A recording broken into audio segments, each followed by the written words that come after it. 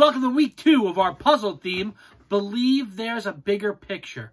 We're all month long, we're talking about the idea of hope Mm-hmm. and understanding that all of the stories and all of the lessons we're learning are small parts of a big picture. Yes. Uh, as always, I'm Mr. Rocco, I'm Christy. and we are very excited that you guys are with us. We're so uh, grateful that this month we get to celebrate Easter. Today is Palm Sunday, which is a really, really special day, uh, and we're going to learn all about Palm Sunday today in our lesson. But before we get there, we're going to start the way we always do. We're going to pray, we're going to worship together, and then we can get into our lesson. Miss Christy, why don't you pray and open us up today? You got it. Everybody, bow your heads, close your eyes. Lord, thank you so much for this month, and thank you for all the wonderful stories that we get to learn. And I am so grateful that we are pieces to your big story. And I pray that you would help us to remember that each and every day, and that we can strive to be more and more like you. In your name we pray. Amen. Amen. All right, guys, let's worship together. Remember, we're singing a brand new worship song this month, and it's all about hope. Yeah. So let me hear you guys singing it loud, praising God together, uh, learning our dance moves, learning the words, and just and really diving into worship this morning. All right, here we go. When the night is darkest and I feel weary, I'm not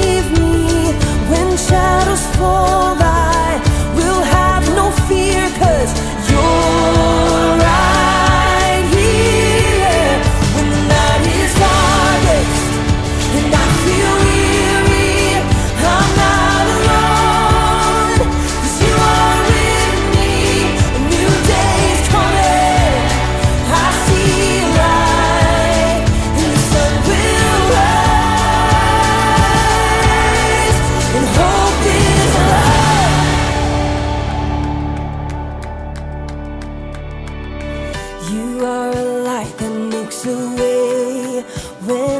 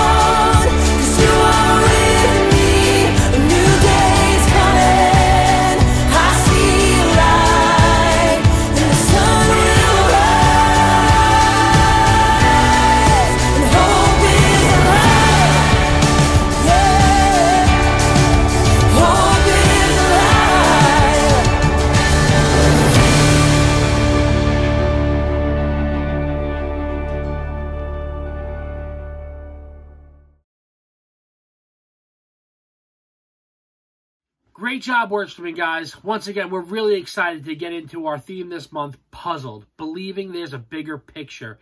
And all month long, we're learning about our really important word, which is hope. Hope. Believing that something good can come out of something bad. Yeah. Last week we learned about the death of Lazarus and how Jesus ro- rose him from the dead. And, and, we can see that even though the bad thing happened, he died, the good thing is, is that Jesus rose him from the dead. And, and that was a great ending to that story. So we see that idea of hope, believing that something good can come from something bad. And, and I said last week, but the Bible is all about hope. If we could pick one word that talks about what the Bible is about, that word would be hope. Right. All right, so I'm really excited to be able to dive into this idea of hope all month long. Mm-hmm. And speaking of diving into the idea of hope, why don't we dive into our memory verse for the day? Let's do it. I hope you guys got some time to practice. Mm, I know I practiced this week. All right. So I'll read it, then we'll do a read and repeat. So this way we get a little extra practice. Sounds great. In this world, you will have trouble, but be encouraged. I have won the battle over the world and I, I just I think this is a really great memory verse. Yeah. but really important point to remember that no matter what we're going through, God went before us. Yep. He already fought the fight and he won the battle for each and every one of us. And that's what we're going to be talking about coming up soon. But shh, I won't spoil it. We're, we're, we're a week ahead on that one. But we, I won't spoil it. But we see the idea of hope all throughout our memory yes. verse. That that even though troubles may come, that's the bad. That God has already won the battle, and that's the good. Yeah. All right, let's read. Let's repeat read it. repeat it. Yeah, absolutely. I'm ready. In this world, you will have trouble. In this world, you will have trouble. But be encouraged. But be encouraged. I have won the battle. I have won the battle over the world. Over the world. And that's John 16, 33. John 16, 33 man. So we talked about Lazarus last week, right? And how Jesus rose him from the dead. Mm-hmm. Okay. And I mean, that was a great story. Uh, I, I, mean, like I said last week, it's one of my and, favorites. And after that happened, I think more and more people started to believe in Jesus, right? I feel like more and more people, yeah, the words, the word was spreading, and more and more people were believing that Jesus was in fact the Messiah, that he was the Son of God. But there's a group of people that were not having that at all and that was the Pharisees. Mm. And the Pharisees were doing everything they could to try and stop Jesus. Right. Okay? So Jesus and the disciples, after healing Lazarus and ri- rising him from the dead, are now coming to the town of Jerusalem. And that's where we're going to pick up our story today. All right? Because again, it's Palm Sunday. So we're going to learn the story of Jesus coming to Jerusalem. So get ready for this week's lesson. Pay attention to the screens.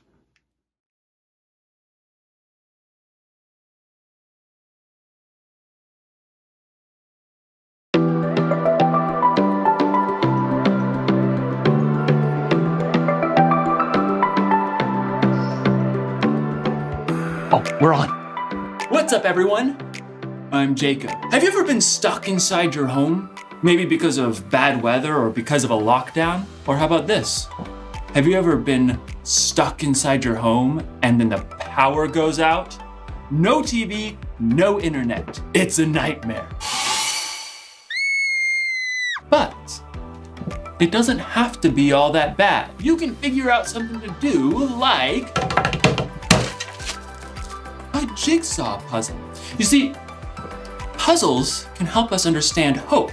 Hope is believing that something good can come out of something bad. Now, usually a jigsaw puzzle comes in a box with a picture of the finished puzzle. This one, however, came in a bag. Guess I'll have to wait until I'm done to see what I'm working on. Let's see. It looks like an eye. So the final picture will have a creature of some kind. Maybe a bunny rabbit, boing, boing, or a squirrel. I'm a squirrel. Or maybe it's not any kind of animal I'm, I've ever seen before, like a hairy monster that has like eight legs and six eyes and is super furry. You know, it's hard to tell what the full picture will be when I'm only looking at one piece. Now the one piece looks like it's looking at me. Stop looking at me. In today's story, we'll hear about a group of people who expected something to happen. but they only saw one piece of the puzzle. I see you.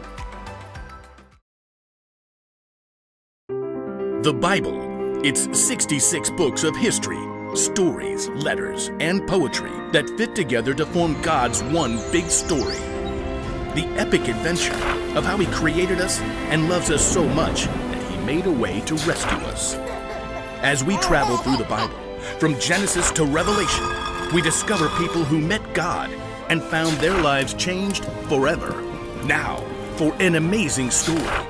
Inspired by the book of John, chapter 12, verses 9 through 16. When Jesus raised his friend Lazarus from the dead, news spread quickly. Many people believed in Jesus, and the religious leaders flew into a rage. If we let Jesus keep doing this, everyone will believe in him. He'll cause so much trouble, the Romans will come in and take over. So, it's decided.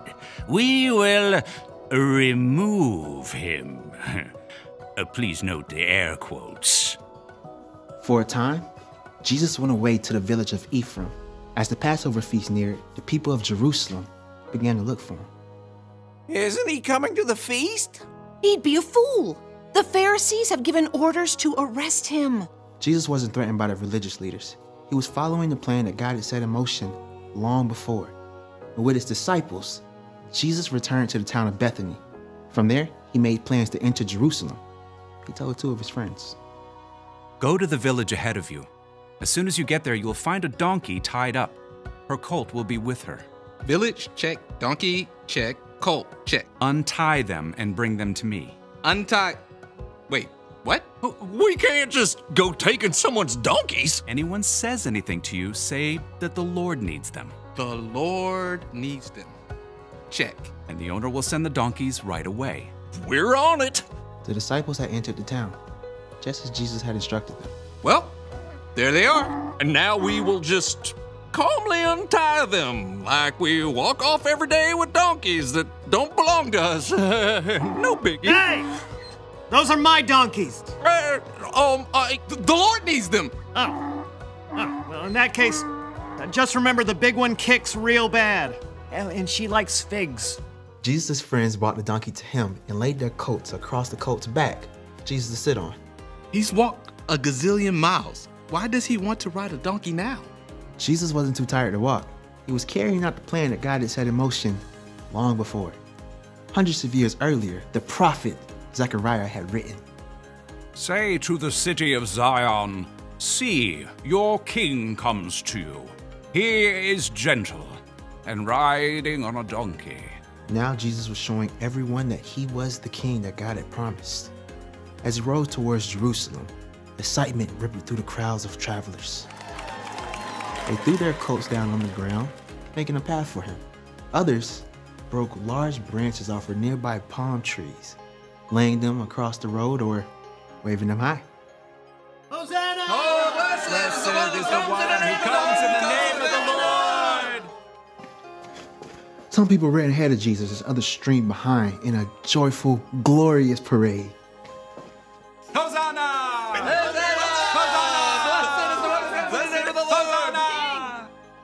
As the procession neared the city, people ran out to see what was happening.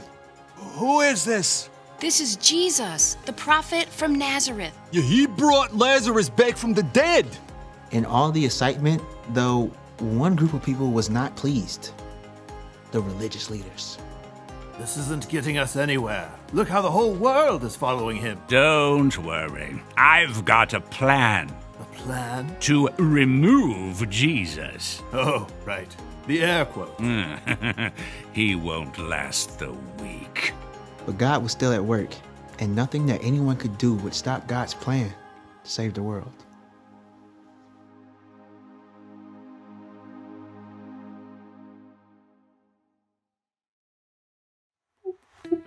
Oh, nice. Oh, hey, I didn't see you there. So, anyway, many people believed Jesus was the Messiah, the Savior who came to rescue them, and they were right. But they thought that meant that Jesus was going to take over right then and take over as their king. And they were about to be very disappointed. But here's the thing about disappointment we're disappointed when things don't go how we want or expect. We're disappointed when we don't get our way. but you've got to remember when it comes to life, we can only see one piece of the puzzle. We only see that we didn't get invited to someone's birthday party. We see that mom or dad lost their job. We see that you or someone you know is hurt. We see the bad things happening right now.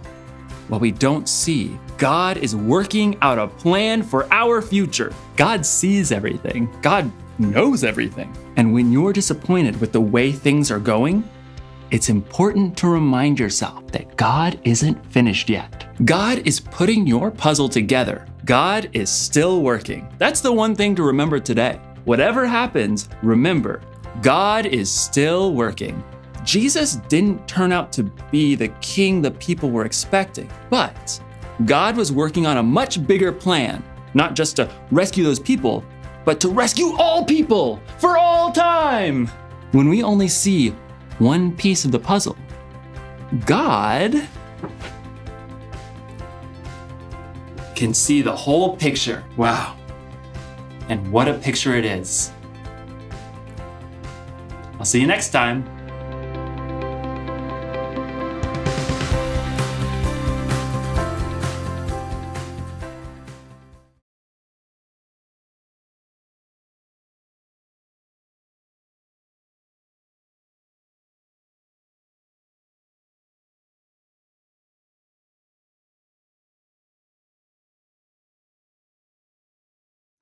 So Jesus knew that once he was going to come to this city, that things were not going to go well. Yeah. He knew that the Pharisees were going to try and stop him. He knew that they were going to try and arrest him. Mm-hmm. But even in that moment, even in like the, the the time where the Pharisees are trying to arrest Jesus, God still has a plan that's bigger than we can see at this point.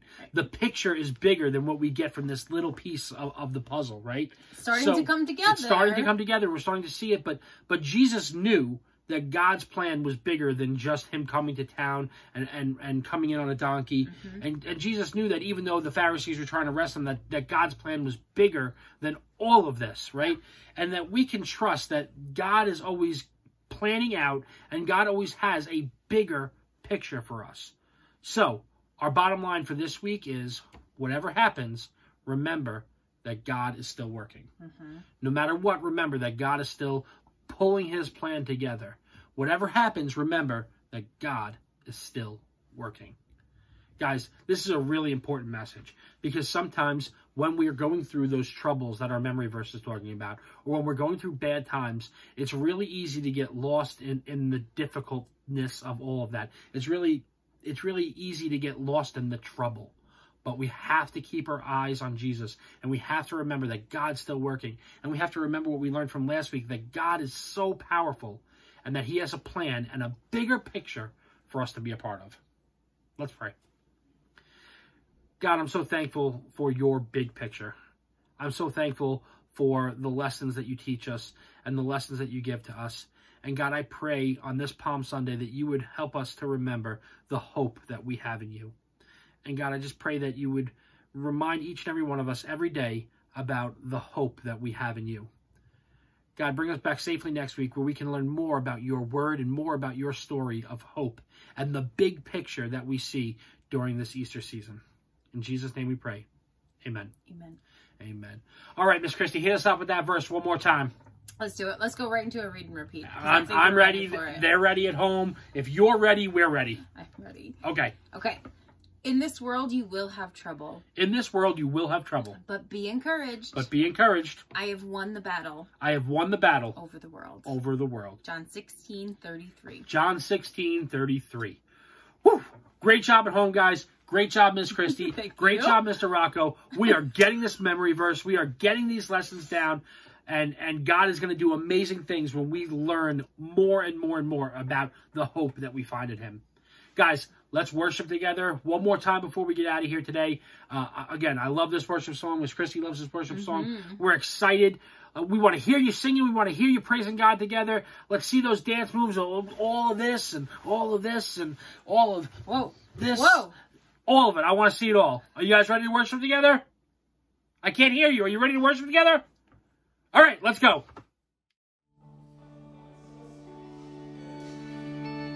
When the night is darkest and I feel weary, I'm not.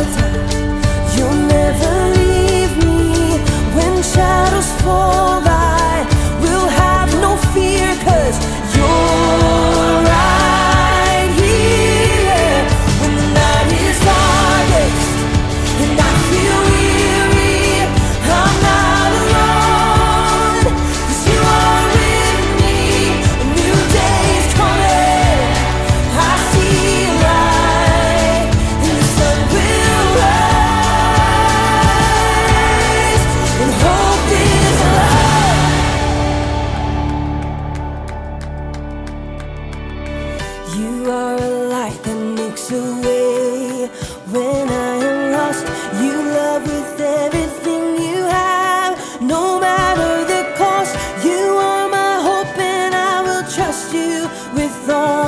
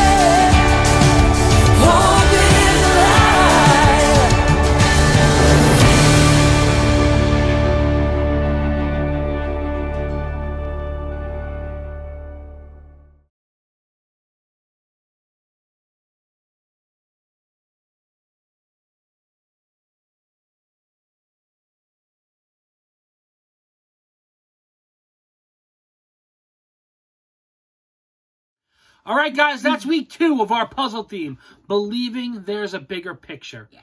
Guys, we're really excited about this theme and this month. We love the Easter season. We're so glad that you're joining us each week uh, where we can learn more and more about the hope that we have in Jesus. Guys, next week is Easter, so if we don't see you, we want to wish you a happy Easter now, but we hope to see you next week where we can learn more about God's Word and more about the lessons that He has for us. As always, we love you. More importantly, God loves you, and we hope you have a great week. Bye, guys. Bye-bye.